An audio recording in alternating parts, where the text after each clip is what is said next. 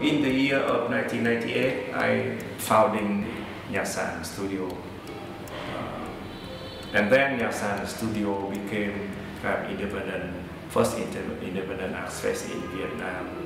And we like a blank room, blank land, uh, where experimental artists can come, drink, talk, present their work, and produce their work in Nha San.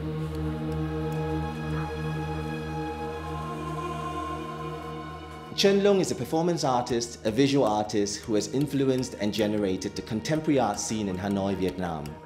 He has bridged the gap in a divided country between North and South Vietnam to create a contemporary art scene which links all Vietnamese artists together.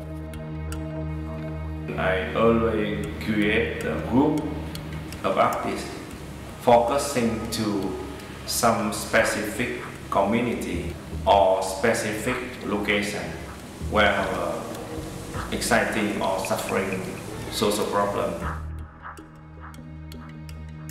I remember his work with a red handkerchief, a handkerchief which young students wear in Vietnam in school. And he invites us, the audience, to flagellate him, to whip him. And you, as an audience member, you're confronted with your individual choice of whether you want to continue violence in this world or whether you want to bring a world of peace into the future.